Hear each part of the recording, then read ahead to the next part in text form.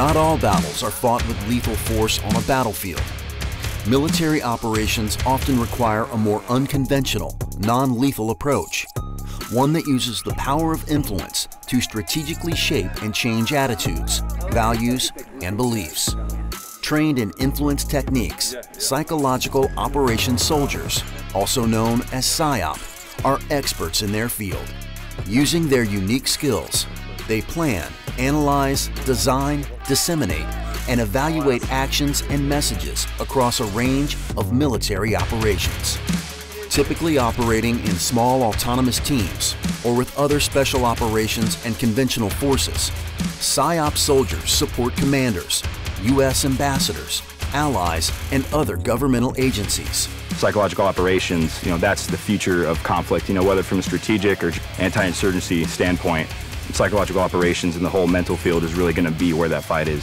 PSYOP soldiers utilize a variety of techniques and unconventional capabilities such as cultural expertise, language proficiency, and advanced communication techniques to influence foreign audiences and develop relationships with a country's civilian population, government figures, military, and law enforcement.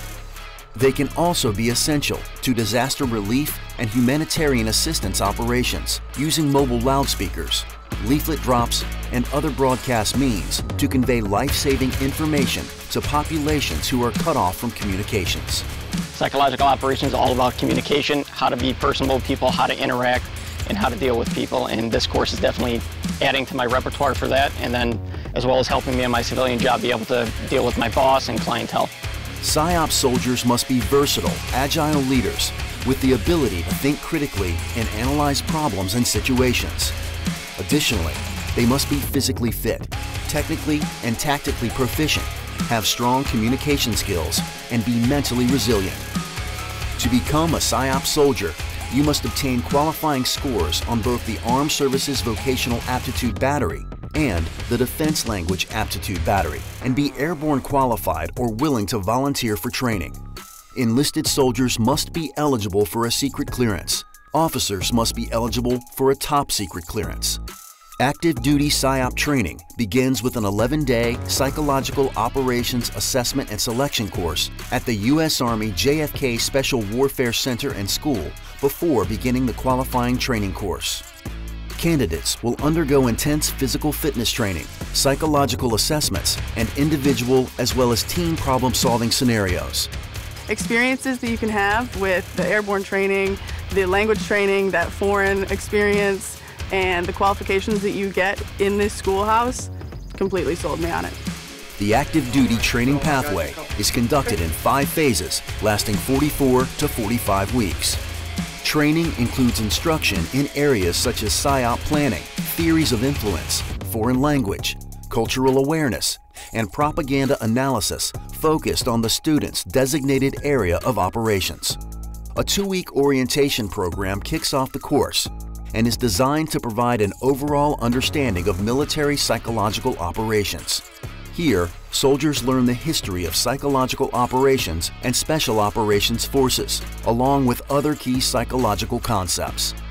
The second phase of training, PSYOP Core, serves as a 10-week foundation on the core doctrine and methodologies of psychological operations. During this phase, soldiers learn the framework of behavioral science theories of influence, and the key anatomy of PSYOP planning. Soldiers also learn core skills in human engagement and advanced interpersonal communications, along with skills in demographic and target audience analysis and adaptive leadership techniques here in this particular training course, the military occupational specialty or just the MOS course. I can't speak highly enough of the cadre from everything from doing the target audience analysis to the series to just understanding some of the base behavioral and psychological mechanisms behind why people and groups work the way they are. Um, I think it's just been absolutely fantastic. The next part of the PSYOP journey includes eight weeks of advanced special operations skills training. In the third phase of training, conducted over four weeks, active duty officers and enlisted personnel hone newly acquired skills and learned abilities that are essential to aid and bolster ongoing special operations missions. The fourth phase of training will focus on unconventional warfare, the dynamics of insurgencies, and understanding social resistance movements. The previous weeks of training is then tested over a multi-tiered culmination exercise known as Black Night. The final phase and longest portion of PSYOP qualification is language training. This 25-week phase is designed to give soldiers basic speaking and listening proficiency in a foreign language.